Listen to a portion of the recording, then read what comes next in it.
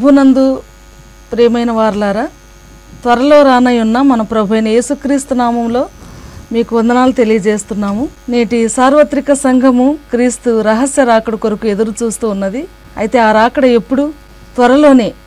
అంటే కనుచూపు మేరలోనే క్రీస్తు ఆగమనం అను ప్రత్యేకమైన సందేశం ద్వారా సువార్త సేవకులు బ్రదర్ జోగి మోజెస్ గారు మీ ముందుకు వస్తూ ఉన్నారు. శ్రద్ధగా దేవుని మాటలు వినవలనని అలాగే క్రీస్తు ఆగమనం కొరకు సిద్ధపడవలనని ప్రేమతో మీకు మనవి చేస్తున్నాము ప్రభునందు ప్రియ సహోదరులారా యేసుక్రీస్తు నామములో మీకు శుభములు తెలుపుచూ ఉన్నాం. ఈ సమయంలో ఒక ప్రత్యేకమైన సందేశం మీకు ఇవ్వాలని మేము ఆశపడుతూ ఉన్నాం. ఆ సందేశం ఏమనగా కనుచూపు మేరలో క్రీస్తు ఆగమనము. బైబిల్ గ్రంథంలో మనం చూస్తాం యేసుక్రీస్తు ప్రభువారు తన రాకడను గురించి ఆయన త్వరగా రాబోతున్నాడు అని మనం ఎన్నో వాక్యాలు చూడవచ్చు యాకో పత్రికలో రాయబడింది. ఐదో అధ్యాయం తొమ్మిదో వచనంలో సహోదరులారా మీరు తీర్పు పొందకుని నిమిత్తము ఒకరి మీద ఒకడు సనగకుడి ఇదిగో న్యాయాధిపతి వాకిట నిలిచి ఉన్నాడు. ఈ మాటలు గమనించినట్లయితే యేసుక్రీస్తు ప్రభు ఎక్కడ ఉన్నాడు అంటే వాకిట్లో నిలిచి ఉన్నాడు. అంటే ప్రభు రావటానికి అంత సిద్ధంగా ఉన్నాడు. అంతేకాకుండా మతీశ్వార్త వార్త ఇరవై నాలుగు నలభై నాలుగులో గమనించినట్లయితే మీరు అనుకోనని గడియల్లో మనిషి కుమారుడు వచ్చును గనుక మీరును సిద్ధముగా ఉండుడి. మీరు అనుకోనని గడియలో యేసుక్రీస్తు ప్రభు ఎప్పుడొస్తాడో ఆ గడియ మనకు తెలియదు ఆ దినమైనను ఆ గడి అయినను మీకు తెలియదు గనుక మీరును సిద్ధముగా ఉండుడి అని దేవుని వాక్యములో మనం చూస్తూ ఉన్నాం. కాబట్టి ప్రభునందు ప్రియులర సమయము రాకమునుపు అనగా ప్రభు వచ్చు పర్యంతము దేని గురించి తీర్పు తీర్చకుడి ఆయన అంధకారమందలి రహస్యములను వెలుగులోనికి తెచ్చి హృదయములోని ఆలోచనలను బయలుపరుచున్నప్పుడు ప్రతివానికి మెప్పు దేవుని వలన కలుగును అని కొరింతీలకు రాసిన పత్రిక నాలుగు ఐదవ వచ్చంలో రాయబడింది. కాబట్టి ప్రభునందు సోదరులారా నా ప్రియ సహోదరులారా పైన చదివినటువంటి వాక్య భాగములు ప్రభు అయిన యేసుక్రీస్తు అతి త్వరగా రానయ్యున్నాడు అని మనకు గోచరం అవుతుంది. అయితే యేసుక్రీస్తు ప్రభు ఎప్పుడు వస్తాడు? మనం ఎవరిని అడిగినా ప్రభు ఎప్పుడైనా రావచ్చు. ఈరోజైనా రావచ్చు రేపైనా రావచ్చు. ప్రభు మాత్రం త్వరగా వస్తాడు. మొత్తానికి ఆయన రాకడ దినాల్లో ఉండాము అనే మాటలు ఏ భక్తులను అడిగినా చెబుతారు. అయితే ఆయన ప్రత్యేకంగా ఫలానా సమయంలో వస్తాడు అనటానికి ఏమైనా రుజువులు ఉన్నాయా? ప్రియులారా మరి రుజువులు ఉన్నాయి. కొంచెం మనం జాగ్రత్తగా గమనించినట్లయితే ఆ రుజువుల్ని మనము దేవుని యొక్క వాక్య భాగంలో మనం చూడగలం. మరి ప్రపంచ భవిష్యత్తు బైబిల్లో చెప్పబడిన ప్రవచనాలు ఉన్నాయి. ఆ ప్రవచనాలు మొదటిదిగా గమనించినట్లయితే దానియాల గ్రంథం రెండో అధ్యాయం ముప్పై ఒకటో వచనంలో నెబ్బకద్నేజరుకు ఒక దర్శనం కలుగుతుంది. ఆ దర్శనము ఆయన కలిగిన దర్శనం ఆయన కలత చెందాడు. కారణం ఏంటంటే ఆ దర్శనం మర్చిపోయాడు. దాని భావం తెలియదు చివరకు దానియలు ద్వారా దాని భావాన్ని తెలుసుకున్నాడు. ఏంటి ఆ దర్శనం అంటే ఒక బ్రహ్మాండమైన ప్రతిమ శిరస్సు బంగారము భుజములు భుజములు వెండి శిరస్సు బంగారము అది బబులోను సామ్రాజ్యం. క్రీస్తుకు పూర్వము ఆరు వందల అరవై ఆరో సంవత్సరం. దాని రొమ్ములు భుజము మాదియ పారిసిక రాజ్యం. అది బీసీ ఐదు వందల ముప్పై ఆరో సంవత్సరం. దాని ఉదరము తొడలు ఇత్తడివి. అది గ్రీకు సామ్రాజ్యం. క్రీస్తుకు పూర్వము మూడు వందల ముప్పై సంవత్సరాలు. దాని మోకాళ్ళు ఇనుపవియు. రోము క్రీస్తుకు పూర్వం ముప్పయో సంవత్సరం. దాని పాదములు ఒక భాగము ఇనుము మట్టిదియు. అది రోమా సామ్రాజ్యం పునర్నిర్మాణం. ప్రియులారా ఈ ఈ విషయంలో పాదములు ఇనుము మట్టితో కలిసి ఉన్నది. ఇనుము మట్టి ఒకదానికి అది పొసకదు అది అతకదు. కాబట్టి ఇప్పుడు మనం ఎక్కడి నుంచి వచ్చాము అంటే శిరస్సు భుజములు రొమ్ము భుజములు తర్వాత ఉదరము తర్వాత మోకాళ్ళు తొడలు చివరిగా పాదాలు అనే మాట చెప్పబడింది. కాబట్టి పాదములు అనేది పది రేళ్ళు పాదాలకు పది రాజ్యాలు కూటమి ప్రజాప్రభుత్వం పుస్తకని రాజ్యము. ఇప్పుడు మనం పాదాలు కాడ ఉన్నాం. అయితే ప్రభు అయిన యేసుక్రీస్తు ఆ ఈ ప్రవచనాన్ని మనం గమనించినట్లయితే శిరసు మొదలుకొని పాదాల వరకు వచ్చాము. అయితే ఈ ఈ పాదాల మీద ప్రభు అయినటువంటి యేసుక్రీస్తు వారు చేతి సహాయం లేకుండా తీయబడిన రాయి ఆ పాదాల మీద పడి అది తుత్తునీలుగా చేస్తుంది విగ్రహం మీద పడి తుత్తునీలుగా చేస్తుంది. అది ఎప్పుడు అంటే ఎప్- అది ఎప్పుడు అంటే యేసుక్రీస్తు ప్రభువారు ఆయన ప్రత్యక్షమైన తర్వాత. తర్వాత ఏడేండ్లు దానియాలు ప్రవచన ప్రకారంగా డెబ్భైవ వారం అది పూర్తయిన తర్వాత ఆ రాయి ఈ పాదాల మీద పడుతుంది. అప్పటి వరకు మనుషుల రాజ్యాలు. అయితే దాని తదుపరి క్రీస్తు రాజ్యం వెయ్యేండ్ల పాలన. కాబట్టి ఆ విగ్రహం యొక్క భావం మనకేం తెలియచేస్తుందంటే బబులోను సామ్రాజ్యం మొదలుకొని క్రీస్తు వెయ్యేండ్ల పాలన వరకు ఆ విగ్రహం తీసుకొస్తుంది. అది ఒక గొప్ప ప్రవచనం ప్రభు రాకడికి. రెండవదిగా గమనించినట్లయితే మరి ప్రకటన గ్రంథం రెండు మూడు అధ్యాయాల్లో ఏడు సంఘాల గురించి వ్రాయబడింది. ఆ ఏడు సంఘాలు ఇఫెస్సు స్మురణ పెర్గమ తొయతైర సార్దిస్ ఫిలదెల్పియా లవోదికయ అనేటువంటి ఏడు సంఘాలు. ప్రియులారా ఏడు అనేది చివరి సంఖ్య. ఇప్పుడు మనం ఏ కాలంలో ఉన్నాము అంటే లవోదికయ కాల సమయంలో ఉన్నాం. లవోదికయ సంఘము నిలువెచ్చని స్థితి. అది ఎలాగుందంటే అది ఒక్కటి క్రియ కూడా బాగుండలేదు. అన్నీ చెడిపోయినటువంటి జీవితమే. అన్ని సంఘాల్లో కొన్ని మంచి కనపడతాయి కానీ లబోదీకే సంఘంలో ఏ మంచి కూడా లేదు. అందును బట్టి నా నోట నుండి ఉమ్మివేయ ఉద్దేశం చూస్తున్నాను అని లవోదీకే సంఘ గురించి అక్కడ వ్రాయబడింది. కాబట్టి ప్రస్తుత పరిస్థితి ఆ లవోదీకే సంఘంలో ఉన్నాం. మత్తీసు వార్త పదమూడు అధ్యాయంలో చూస్తే అక్కడ ఏడు ఉపమానాలు చెప్పబడ్డాయి. ఏడు ఉపమానాల్లో చిట్ట చివరి ఉపమానము పరలోక రాజ్యము నానా విధములైన చేపలను పట్టిన వలను పోలి ఉన్నది. అది నిండినప్పుడు దరికి లాగి కూర్చుండి మంచి వాటిని గంపలో చేర్చి చెడ్డ వాటిని బయట పారవేయుదురు. అలాగుననే యుగ సమాప్తి ఎందు జరుగును. దేవదూతలు వచ్చి నీతిమంతులను దుష్టులు వేరుపరచి అనే మాటలు మనం చూస్తాం. కాబట్టి చివరి కాలంలో జరగబోయేటువంటి ఏడవ ఉపమానం అని మత్తయి వార్త పదమూడు అధ్యాయం మనకు తెలియచేస్తుంది. అయితే ప్రియులారా యేసుక్రీస్తు ప్రభు రావటానికి కొన్ని గుర్తులేంటి? సంఘం ఎత్తబడుటకు ముఖ్యమైన గుర్తులేంటి? యేసుక్రీస్తు ప్రభు ఒలివాల పర్వతం మీద కూర్చున్నప్పుడు శిష్యులు ఆయన దగ్గరికి వచ్చి యేసు ప్రభుతో మాట్లాడతారు. మూడో వచనంలో ప్రభు నువ్వు ఈ లోకానికి ఈ రాకడకు సూచనలు ఏంటి అని వారు అడుగుతారు. నీ రాకడకు గుర్తులేంటి? అని అడుగుతారు. ప్రభు కొన్ని గుర్తులు చెబుతాడు. జనం మీదకి జనము రాజ్యం మీదకి రాజ్యం కరువులు కాటకాలు భూకంపాలు ఇవన్నీ నా రాకడకు గుర్తులు అని యేసుక్రీస్తు ప్రభు చెబుతాడు. ప్రియులారా యేసుక్రీస్తు ప్రభు రావటానికి మరి కొన్ని ప్రవచనాలు చూస్తున్నాం. అయితే ప్రభు రావటానికి గుర్తులేంటి అని గమనించినట్లయితే సంఘం ఎత్తబెట్టడానికి ముంగుర్తులు కొన్ని ఉన్నాయి. ఐదు గుర్తులు ఉన్నాయి. మొదటి గుర్తు ఏంటంటే సర్వలోకమునకు స్వార్థ ప్రకటించబడాలి సాక్షార్థంగా. అది మత్తయి వార్త ఇరవై నాలుగు అధ్యాయము పద్నాలుగో వచనంలో చూస్తాం. రెండవదిగా ఇస్రాయేలీలు నూటికి నూరు శాతం ప్రపంచ దేశాల నుంచి వారు ఇస్రాయేల్ దేశానికి రావాలి. అది రెండు. మూడవదిగా గమనించినట్లయితే ఎరుషులేము దేవాలయము తిరిగి కట్టబడాలి. ఇంతకుముందు రెండు సార్లు కట్టబడింది. మూడవసారి దేవుని మందిరం కట్టబడాలి. నాలుగవదిగా గమనించినట్లయితే భూమి మీద క్రీస్తు విరోధి రాజ్య స్థాపన జరగటం. సాతానుడు అనగా త్రిబుల్ సిక్స్ ఆరు వందల అరవై ఆరు అనువాడు క్రీస్తు విరోధి. ఈ రాజ్యం మీద మరి రాజ్య స్థాపన చేస్తాడు. అది నాలుగవ గుర్తు. ఐదవదిగా చెప్పినట్లయితే క్రీస్తు చెప్పిన సూచనలు అనగా మతేశ్వార్త ఇరవై నాలుగు అధ్యాయంలో మూడవ వచనం నుంచి చెప్పబడినటువంటి విషయాలు మనం చూస్తాం. అవన్నీ జరిగిన తర్వాతనే ప్రభు అయిన క్రీస్తు రాకడ ఇప్పుడు జరుగుతుంది. ప్రియులారా సంఘం ఎత్తబడుటను గురించి మరొక ప్రవచనాన్ని మనం గమనించినట్లయితే దానియలు డెబ్భై వారముల ప్రవచనము అది చెప్పబడింది. దానియలు గ్రంథం. తొమ్మిది అధ్యాయం ఇరవై నాలుగు నుంచి ఇరవై ఏడు వచనాల వరకు చదివినట్లయితే అక్కడ ఒక ప్రాముఖ్యమైన విషయాలు మనం గమనించగలుగుతాం.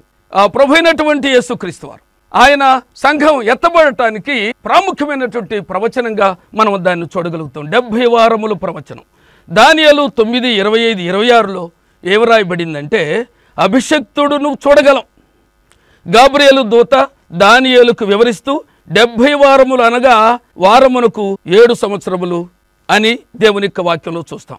ఒక దినము ఒక సంవత్సరము అని వ్రాయబడింది. ఎహెసియల్ గ్రంథం నాలుగు అధ్యాయం ఆరో వచనంలో చూస్తే సంవత్సరము ఒకటింటికి ఒక దినము అని అక్కడ మనం చూడగలం ఒకటింటికి సంవత్సరము ఒకటింటికి ఒక దినము అని మనం చూడగలం. ఒక దినము ఒక సంవత్సరం. ఒక సంవత్సరం ఒక దినము అని చూస్తాం.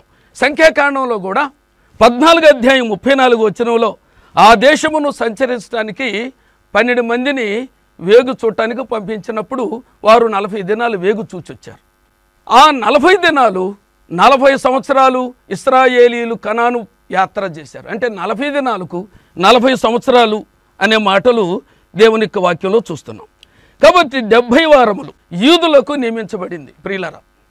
డెబ్భై వారములు అంటే డెబ్భై ఇంటూ ఏడు. నాలుగు వందల తొంభై సంవత్సరాలు. ఈ డెబ్భై వారములు కేవలము యూదులకు మాత్రమే. అది క్రైస్తవులకు కాదు అది అన్ని జనులకు ఏమాత్రం కూడా కాదు. అయితే డెబ్భై వారములు మూడు భాగములుగా చేయబడింది. ఆ మూడు భాగాలు గమనించినట్లయితే మరి దానియల గ్రంథం తొమ్మిదో అధ్యాయం ఇరవై ఐదు నుంచి ఇరవై ఏడు వరకు చూస్తే మొదట ఏడు వారములకు మందిరం కట్టబడుతుంది. ఏడు వారములు ఒక భాగం అరవై రెండు వారాలు రెండవ భాగం ఒక వారం మూడో భాగం. డెబ్భై వారాలను మూడు భాగాలుగా మనం విభజించవలసి వచ్చింది. మరి ప్రతి భాగము యూదులకు ఎరుశలేం పట్టణమునకు సంబంధించింది అని మనం గుర్తుంచుకోవాలి. డెబ్భై వారములో మొదటి భాగం దానియలు తొమ్మిది ఇరవై ఐదు. ఎరుశలేము కట్టించవచ్చునని ఆజ్ఞ యూదుల్లో నుండి బబులో నుండి చెర నుండి విడుదల పొందిన నెహమ్య కాలంలో పాడుబడినటువంటి ఎరుషలేం పట్టణం మరలా కట్టుబడింది. అది దానియల గ్రంథం తొమ్మిది అధ్యాయం ఇరవై ఐదు వచ్చుల్లో చూస్తాం. అక్షరాల ఆ ప్రవచనం నెరవేరింది. ఏడు వారాలు. ఏడు వారాలంటే ఏడు ఇంటూ ఏడు. నలభై తొమ్మిది సంవత్సరాలు. ఈ ప్రవచనం ఎప్పుడు చెప్పబడిందంటే క్రీస్తుకు పూర్వము నాలుగు వందల నలభై ఐదవ సంవత్సరంలో ఈ ప్రవచనం చెప్పబడింది. కాబట్టి మొదటి ఏడు వారాలు జరిగినప్పుడు నలభై తొమ్మిది సంవత్సరాలు జరిగింది. అది మొదటి భాగం. నిహమ్య గ్రంథం రెండు అధ్యాయం ఐదు ఆరు వచనాలు చూడొచ్చు. ఆరు అధ్యాయము పదిహేను వచనం. ఏడు అధ్యాయము మొదటి రెండు వచనాలు చూస్తే ఆ మందిరం కట్టబడిన విధానం నిహమ్య కాలంలో ఎజ్రా. వీళ్ళు దేవుని మందిరాన్ని కట్టారు. కోరేషు రాజు ద్వారా అది కట్టబడిందని మనం చూస్తాం. డెబ్భై వారంలో రెండవ భాగం. దానియల్ గ్రంథం తొమ్మిది అధ్యాయం ఇరవై ఆరో వచనములో అరవై రెండు వారములకు అభిషక్తుడు నిర్మూలం చేయబడును. అంటే అభిషక్తుడు ఎవరు? మెస్సయ్య క్రీస్తు. యేసుక్రీస్తు ప్రభు సిలివేయబడతాడు. అరవై రెండు వారాలకు అని రాబడింది అరవై రెండు వారాలు అంటే అరవై రెండు ఇంటూ ఏడు నాలుగు వందల ముప్పై నాలుగు సంవత్సరాలకు యేసుక్రీస్తు ప్రభు నిర్మూలం చేయబడతాడంటే ఆ ప్రభు సిలివేయబడతాడు అని అర్థం కనపడుతుంది. కాబట్టి ఏడు వారాలు ప్లస్ అరవై రెండు వారాలు ఈజ్ ఈక్వల్. అరవై తొమ్మిది వారాలు అయింది దానియలు ప్రవచనం ఏంటంటే డెబ్భై వారాలు. అరవై తొమ్మిది వారాలు అయిపోయిన తర్వాత డెబ్భై వారము స్టార్ట్ కాలేదు. అక్కడ ఫుల్ స్టాప్ పెట్టబడింది. అది అక్కడ ఆగిపోయింది. అక్కడి నుంచి యేసుక్రీస్తు ప్రభువారు నిర్మూలం చేయబడటం అనగా సిలివేయబడిన తర్వాత ఆయన సిలువ రక్తము చేత సంఘం స్థాపించబడింది. తన స్వరక్తంతో సంపాదించిన సంఘము ఏర్పడింది. ఆ సంఘానికి దేవుడు కొంతకాలాన్ని ఇచ్చాడు. ఏడు వారములు అరవై రెండు వారం మొత్తం అరవై తొమ్మిది వారాలు ప్రవచనం నెరవేరింది. డెబ్భై వారానికి చాలా గ్యాప్ లేక ఎడమ ఉంది. మరి సుమారు రెండు వేల సంవత్సరాలు గ్యాప్ ఉంది. డెబ్భై వారం క్రైస్తవులకు సంబంధించింది కాదు. అది యూదులకు మాత్రమే. అరవై తొమ్మిది వారాలు పూర్తయిన తర్వాత క్రీస్తు రక్తముతో పుట్టిన సంఘం. అపోస్తల కార్యాలు రెండవ అధ్యాయంలో సంఘం ఏర్పడింది. ప్రియులారా క్రీస్తు రక్తంతో కొనబడిన సంఘమునకు దేవుడు రెండు వేల సంవత్సరాలు ఇచ్చాడు. ఈ సంఘము మధ్యలో మధ్యలో వచ్చింది. ఈ డెబ్భై వారాల్లో మధ్యలో వచ్చింది. ఈ సంఘం మధ్యలోనే పోతుంది. సంఘం ఉన్నంతకాలం ఉన్నంత కాలం క్రీస్తు సంఘములతోనే ఆయన సంబంధం కలిగి ఉన్నాడు. ఇందుకు ప్రమాణంగా రోమిలకు రాసిన పత్రిక పదకొండు అధ్యాయం ఇరవై ఐదు ఇరవై ఐదు నుంచి ఇరవై ఏడు వర్షం చూసినట్లయితే విమోచకుడు సియోనులో నుండి వచ్చి యాకోబులో నుండి భక్తిహీనతను తొలగించును అని వ్రాయబడింది. ఇప్పుడు ప్రస్తుతానికి యూదులు యేసుక్రీస్తు ప్రభునందు విశ్వాసం కలిగి లేరు వారు భక్తిహీనులుగా ఉన్నారు. ఎప్పుడైతే మరి సియోనులో నుండి ప్రభు వస్తాడో ఇస్రాయేలీలో ఉన్న భక్తిహీనత తొలగిపోతుంది వారు భక్తిపరులు అవుతారు సంఘము ఎత్తబడిన తర్వాత దేవుడు ఇస్రాయేలీలతో చర్యలు ప్రారంభం చేస్తాడు. సంఘం ఎత్తబడినాక సంఘంతో ఉంటాడు. సంఘం ఎత్తబడిన తర్వాత ఇస్రాయేలీలతో జోక్యం చేసుకుంటాడు ప్రభు. ప్రియులారా నెరవేరవలసిన ప్రాముఖ్యమైన విషయం సంఘము క్రీస్తు సంఘము డెబ్భై వారము ప్రారంభము కాక మునుపు సంఘం పైకి ఎత్తబడుతుంది. దాని అర్థము ఏమిటంటే మన ప్రభు రక్షకుడిని యేసుక్రీస్తు తన స్వరక్తముతో సంపాదించిన సంఘము కొరకు ఆకాశము మండలమునకు డెబ్భై వారములు ప్రారంభం కాకమునిపే ప్రభు మధ్యాకాశానికి వస్తాడు. అదే తెస్సలో నీకు రాసిన మొదటి పత్రిక నాలుగు అధ్యాయం పదహార వచనంలో రాయబడింది ఆర్భాటముతోనూ ప్రధాన దూత శబ్దముతోను దేవుని బూరతోనూ పరలోకం నుండి ప్రభు దిగువచ్చును. క్రీస్తునందుండి మృతులేని వారు మొదట లేతురు ఆ మీదట సజీవులమై నిలిచివుడు మనము. ప్రభుతో కూడా ఆయనతో ఉండుటకు కొనిపోబడదుము అని దేవుని యొక్క వాక్యంలో రాయబడింది. డెబ్భై వారముల ప్రవచనం. డెబ్భై ఇంటూ ఏడు నాలుగు వందల తొంభై సంవత్సరాలు. నాలుగు వందల తొంభై రోజులు నాలుగు వందల తొంభై సంవత్సరాలు. నాలుగు వందల తొంభై సంవత్సరాలు అనుకుంటే ప్రవచనం యొక్క నెరవేర్పు సరిపెట్టలేం. నాలుగు వందల తొంభై ఏళ్ళ కాలానికి నిహమ్య రెండు ఒకటి ప్రకారము బైబిల్ పండితులు ఎంతో సమయం వెచ్చించి శ్రమపడి లెక్క కట్టారు. మరి ఈ ప్రవచనం ఎప్పుడు దానియలకు వచ్చిందంటే క్రీస్తు పూర్వము నాలుగు వందల నలభై ఐదవ సంవత్సరం అని నిర్ధారించారు. క్రీస్తు సిలివేబట్టానికి ముందే అరవై తొమ్మిది వారాలు అనగా నాలుగు వందల ఎనభై మూడు సంవత్సరములు ముగుస్తాయి. అది జరిగిన పెమ్మట అని అక్కడ గమనించవలసి ఉంది. దానియలు గ్రంథం తొమ్మిది ఇరవై ఐదులో సమయం మొదలుకొని అభిషక్తుడు అధిపతి వచ్చే వరకు అని ఉంది.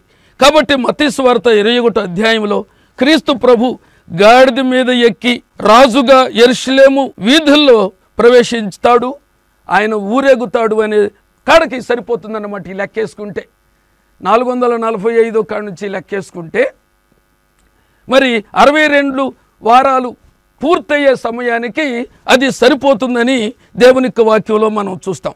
కాబట్టి ప్రిలారా నిహమే రెండు ఒకటి ప్రకారం నాలుగు వందల నలభై ఐదు సంవత్సరములు అరవై తొమ్మిది వారములు నాలుగు వందల ఎనభై మూడు సంవత్సరములు. అనగా నాలుగు వందల నలభై ఐదు ప్లస్ నాలుగు వందల ఎనభై మూడు ఈజ్ ఈక్వల్ టు తొమ్మిది వందల ఇరవై ఎనిమిది. అనగా నెబుకద్నేజరు కుద్దానియాలు మరి రెండు ఒకటి ప్రకారం మత్తీశ్వార్త ఇరవై ఒకటిలో యేసుక్రీస్తు గాడిద మీద ఎక్కి రాజుగా ఎరుషేములో ప్రవేశించింది. దానికి సరిపోతుంది. ఈ విషయాన్ని జాగ్రత్తగా పరిశీలించాలని మనం చేస్తూ ఉన్నాం. పరిశుద్ధ గ్రంథంలో మూడు క్యాలెండర్లు ఉన్నాయండి. ఆ మూడు క్యాలెండర్లు ఏంటంటే యేసుక్రీస్తు ప్రభు జన్మించినప్పుడు క్యాలెండర్ మారిపోయింది. యేసుక్రీస్తు ప్రభు ఈ లోకంలో జన్మించినప్పుడు క్యాలెండర్ మారిపోయింది. అది క్రీస్తు శకమైంది. అనగా కాలము రెండు భాగాలైంది క్రీస్తు పూర్వము క్రీస్తు శకము. పాత నిబంధన రెండు క్యాలెండర్లు అండి మొదటి క్యాలెండరు ఆది కాండము మొదటి అధ్యాయము ఐదో వచనం నుండి గమనిస్తే దేవుడు అస్తమయమును ఉదయము కలుగగా. ఒక దినమాయను అని ఉన్నది. అక్కడ మొదలుకొని అంటే ఆదా మొదలుకొని అబ్రహాము వరకు దాన్ని పితరుల క్యాలెండర్ అంటారు. ఆ పితరుల క్యాలెండర్ సమయం ఎంత అంటే రెండు వేల ఐదు వందల సంవత్సరాలు. రెండు వేల ఐదు వందల సంవత్సరాలు. అది పితరుల క్యాలెండర్. అబ్రహాం మొదలుకొని యేసుక్రీస్తు ప్రభు సిలివి వేయబడినంత వరకు అది యూదుల క్యాలెండర్. యూదుల క్యాలెండరు పదిహేను వందల సంవత్సరాలు. అనగా ఇస్రాయేలీలు. అనగా ఇస్రాయిల్ నిర్గమకాండం పన్నెండు అధ్యాయంలో ఇస్రాయేలీలు ఐగుప్తులో నుంచి బయటికి వారు బయటికి పిలువబడినప్పుడు మొట్టమొదట పస్కా చేసుకున్నారు వాళ్ళు. అది మొదటి పస్కా. యేసుక్రీస్తు ప్రభు సిలువ వేయబడిన రోజు ఆయన పస్కా పండుగ రోజే సిలువేయబడ్డాడు అది చివరి పస్కా. యేసుక్రీస్తు ప్రభు మూడు పస్కాలు జరిగించినట్లుగా యోహాను సువార్తలో రాయబడి ఉంది. కాబట్టి మొదటి పస్కా మొదలుకొని యేసుక్రీస్తు ప్రభు సెలివేయబడింది పదిహేను వందల పస్కాలు జరిగినాయి. కాబట్టి పదిహేను వందల సంవత్సరాలు. రెండు వేల ఐదు వందల సంవత్సరాలు పితరుల క్యాలె- క్యాలెండరు ప్లస్ యూదుల క్యాలెండరు పదిహేను ఈజ్ ఈక్వల్ టు నాలుగు వేల సంవత్సరాలు జరిగింది.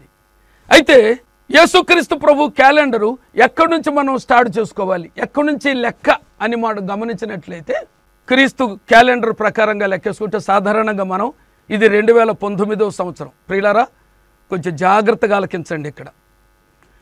యేసుక్రీస్తు ప్రభువారు ఆయన మనము క్రీస్తు శకము రెండు వేల పంతొమ్మిదవ సంవత్సరం అని మనం చూస్తూ ఉన్నాం. రెండు వేల పంతొమ్మిదవ సంవత్సరం ఇప్పుడు మనం చూస్తున్నాం.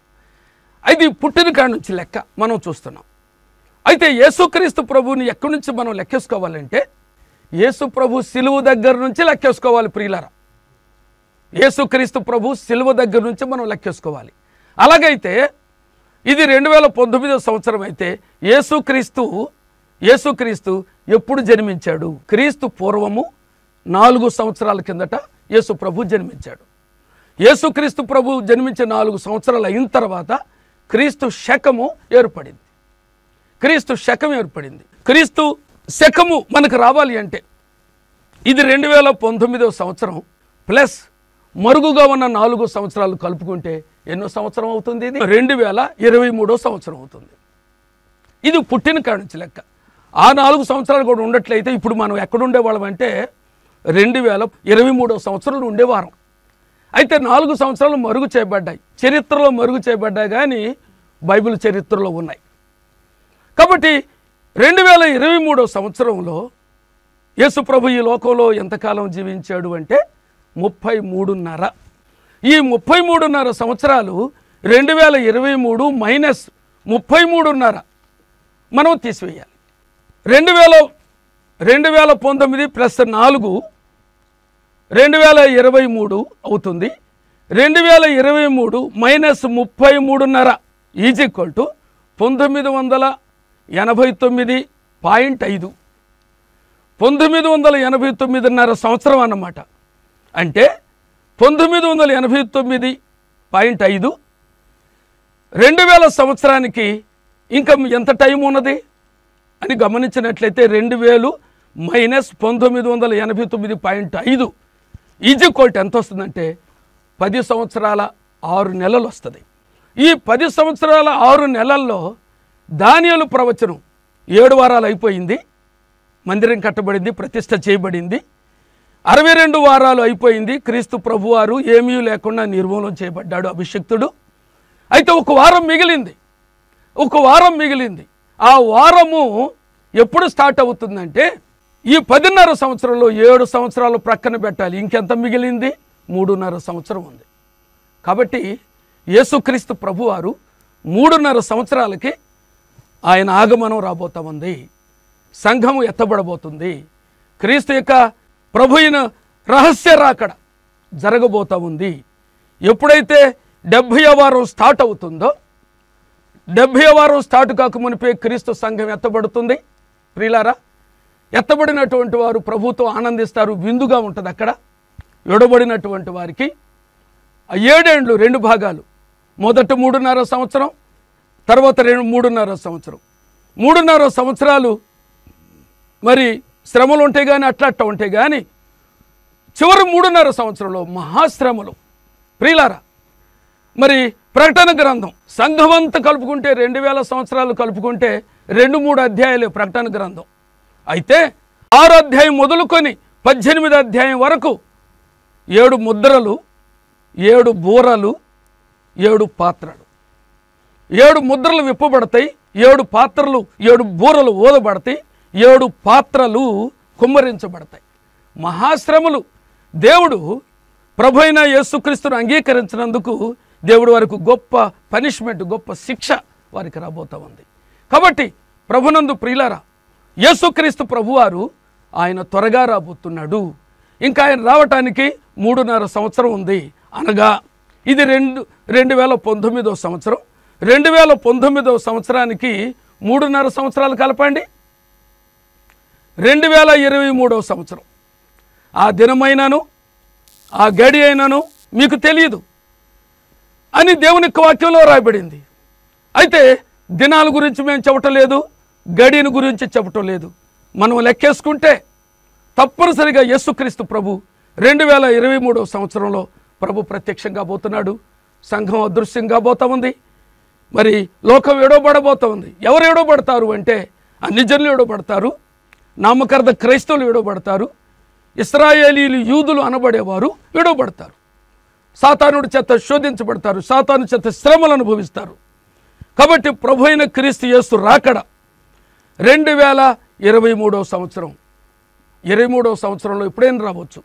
గర్భిణీ స్త్రీకి తొమ్మిది మాసాలు గడిచిన తర్వాత ఏమొస్తుంది ప్రసవేదన వచ్చింది. ఎప్పుడు కానుపోయే సంగతి తెలియదు అలాగునే ఇరవై మూడవ సంవత్సరంలో ఏ రోజు ప్రభు వస్తాడో తెలియదు కాబట్టి ప్రభునందు ప్రియులారా యోహాను స్వార్త పంతొమ్మిది అధ్యాయం ముప్పై వచనంలో ఆయన చిరక పుచ్చుకొని ఆయన సమాప్తమని చెప్పి తల వంచి ఆత్మను తండ్రికి అప్పగించాడు అని ఉంది. సమాప్తము అని వ్రాయబడింది. ఏంటి సమాప్తం? యేసుక్రీస్తు ప్రభు ఈ లోకానికి ఎందుకు వచ్చాడంటే ధర్మశాస్త్రాన్ని సమాప్తం చేయటానికి వచ్చాడు. అంటే ఈ మాట మనం గమనించినట్లయితే యేసుక్రీస్తు ప్రభు జన్మ ధర్మశాస్త్రానుసారమైంది. మీక గ్రంథం ఐదు రెండు. యేసుక్రీస్తు ప్రభు ఎనిమిదవ దినమున దేవుని మందిరానికి తీసుకుని రాబడ్డాడు. అక్కడ ఆయనకు బలి ఇవ్వబడింది. ఆయనకు పేరు పెట్టబడింది. తర్వాత ఆయనకు సున్నతి ఎనిమిదో దినమున సున్నతి చేయబడింది. ఈ మూడు కూడా ధర్మశాస్త్ర సంబంధమైంది. లూకస్ వార్త రెండు అధ్యాయం నలభై ఒకటో వచనంలో పస్కా పండుగప్పుడు ఆయన తల్లిదండ్రులు ఏటేటా ఎరుషులేమునకు వెళ్ళుచుండువారు. ఆయన పన్నెండేండ్ల వాడై ఉన్నప్పుడు ఆ పండగ ఆ పండుగ ఆచరించుటకై వాడుకు చొప్పున వారు ఎరుషులేమునకు వెళ్ళిరి అని నలభై రెండవ వచనంలో ఉంది. కాబట్టి అది ఏంటి? పన్నెండవ సంవత్సరం యేసు ప్రభుకి అది ధర్మశాస్త్రమే. అది ధర్మశాస్త్రమే ప్రభు నెరవేర్చాడు. అయితే అలాగైతే లూకస్వార్త మూడో అధ్యాయం ఇరవై మూడో వచనంలో గమనించినట్లయితే యేసు బోధింప మొదలుపెట్టినప్పుడు ఆయన దాదాపు ముప్పది ఏండ్ల ఈడు గలవాడై ఉండెను. ప్రియులారా యేసుక్రీస్తు ప్రభు ఎప్పుడు తన సేవను ప్రారంభించాడు? ముప్పై సంవత్సరంలో ప్రారంభించాడు. ఎందుకు ముప్పై సంవత్సరంలో ప్రారంభించాడు?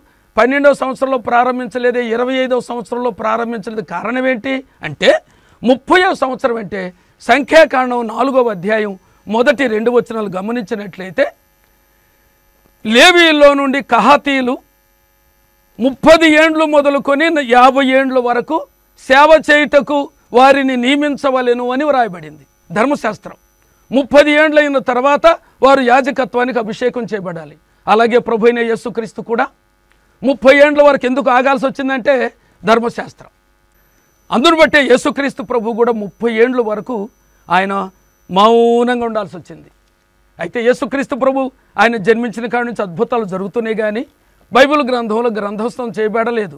ముప్పై సంవత్సరం తర్వాత బైబిల్ గ్రంథం గ్రంథస్థం చేయబడింది. కాబట్టి మరి గలతీలకు రాసిన పత్రిక నాలుగు అధ్యాయం పద్నాలుగు వచ్చంలో రాయబడింది ఏమని అంటే క్రీస్తు మనకు గాను శాపగ్రహి అయి మనలను ధర్మశాస్త్రము యొక్క శాపము నుండి విమోచించను. ఇందును గూర్చి మురాను మీద వేలాడబడిన ప్రతివాడు శాపగ్రస్తుడు అని వ్రాయబడింది. మురాను మీద వేలాడబడిన ప్రతివాడు శాపగ్రస్తుడు. ఎందుకంటే క్రీస్తు మనకు గాను శాపగ్రాహి అయ్యాడు ధర్మశాస్త్రం మనకు శాపం తీసుకొచ్చింది. ఆ శాపాన్ని విడిపించటానికి యేసుప్రభు ధర్మశాస్త్రానికి లోబడ్డాడు. అదే ద్వితీయోపదేశ కాండం ఇరవై ఒకటో అధ్యాయం ఇరవై మూడవ వచనంలో రాయబడింది. మురాను మీద వేలాడబడిన ప్రతివాడు శాపగ్రస్తుడు అని వ్రాయబడింది. కాబట్టి యేసు ప్రభువులో ఏ శాపం లేదు ఏ పాపం లేదు కానీ మనకు గాను మన శాపాన్ని తను వహించి ఆయన శాపాన్ని అనుభవించాడు సిలువ. కాబట్టి యేసుక్రీస్తు ప్రభు సిలువతో ధర్మశాస్త్రం సమాప్తమాయను అని వ్రాయబడింది ప్రియులరా. కాబట్టి ధర్మశాస్త్రం సమాప్తమైపోయిన కాడి నుండి ఒకటో తారీఖు ఒకటో నెల ఒకటో సంవత్సరం. సంఘం ఎత్తబట్టడానికి సమయం ఆసన్నమైంది. నేడే మిక్కిలి అనుకూలమైన సమయం. నేడే రక్షణ దినం. ప్రభుని నమ్ముకుని సిద్ధపడాలని ప్రేమతో మీకు మనం చేస్తున్నాం. దేవుడు మిమ్మల్ని దీవించడం గాక. వందనాలు. ప్రార్థన చేద్దాం. కృపగల తండ్రి నమ్మదగిన మహిమ కలిగినటువంటి మా ప్రియ ప్రభువ మీకు స్తోత్రం చెల్లిస్తున్నాం. కనుచూపు మేరలో క్రీస్తు ఆగమనము అనే సందేశాన్ని అందించడానికి మీరు సహాయం చేశారు. మీకు స్తోత్రం. మీరు కనుసూపు మేరలో మీరు ఉన్నవారని మీ వాక్యాన్ని బట్టి మేము చూస్తూ ఉన్నాం. మా ప్రియమైన ప్రభువ మీరు ఈ లోకంలో సిలువలో మీ ప్రాణం అర్పించిన నాటి నుండి రెండు వేల సంవత్సరాలకు ఈ లోకం అంతం కాబోతుంది. ఆ తరువాత క్రీస్తు సహస్ర ఏలుబడి యుగం జరగబోతా ఉంది. ఏలుబడికి ముందు ఏడు సంవత్సరాలు ధాన్యాలు చివరి ప్రవచనం. ఒక వారము. ఇక దాని ముందు చూసుకుంటే మూడున్నర సంవత్సరాలే కనిపిస్తూ ఉంది. ఈ మూడున్నర సంవత్సరాల్లో సంఘం సిద్ధపడి మేల్కొని ఉగ్రతకు పాలు కాకుండా మీ కృపకు పాత్రులు కావటానికి మీరు సహాయం చేయమని ఈ వాక్యం ఉంటున్న బిడ్డలను దీవించమని యేసుక్రీస్తు నామములో ప్రార్థన చేసి వేడుకుంటున్నాము తండ్రి. ఆమెన్.